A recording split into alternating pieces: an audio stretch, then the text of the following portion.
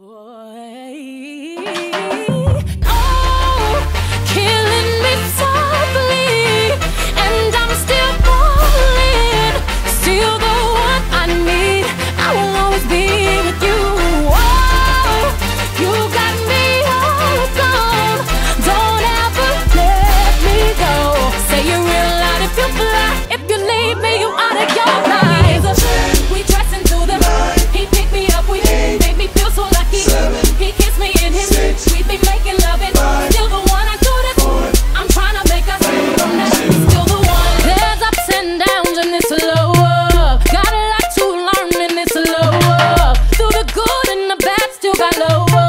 Dedicated to the one I love. Yeah.